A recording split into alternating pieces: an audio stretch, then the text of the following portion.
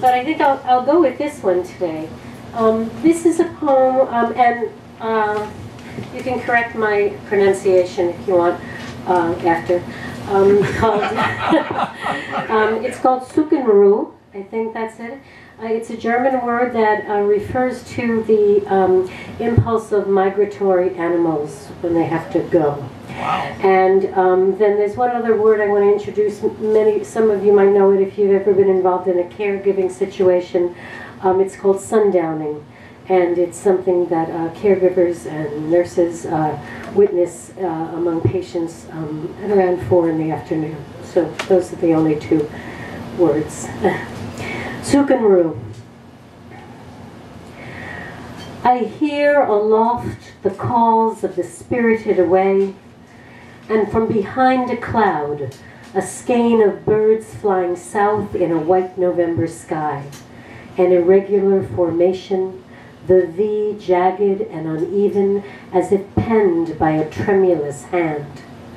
The force that moves wild things, salmon, wildebeest herds and swarms, flocks of birds and solitary butterflies, miracle of instinct waking the need to travel, to move, to migrate. What unknowable primal intellect coils in the brain to order the departure and return of the snow goose? To tell her that the tremble beneath her wings should lift her to the skies?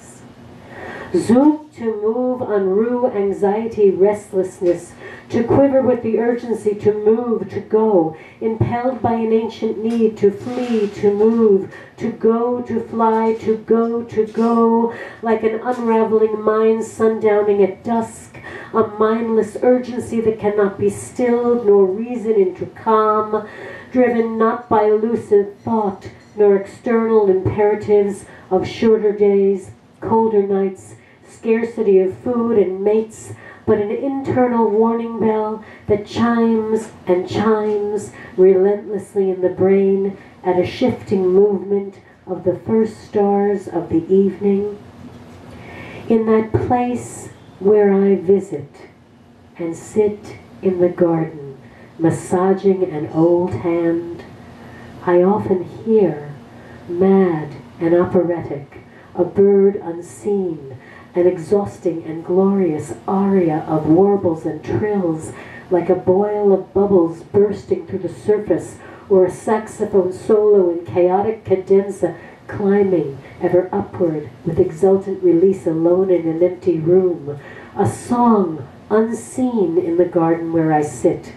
Warbles, tuneless and tumultuous, trills, octave, jumps, licks, runs, trills, arpeggios, exultant ecstasy of praise and desire. And though I search the trees, the rooftop and sky, there is no bird.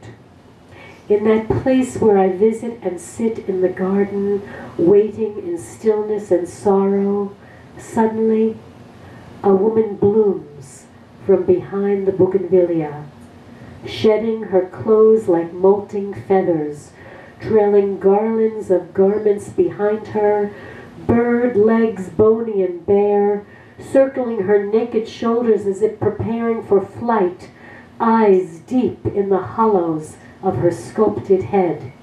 She passes by, unseeing and dreaming of faraway skies, her pink tongue twirling in the dark cave of her mouth, open and full of bird song.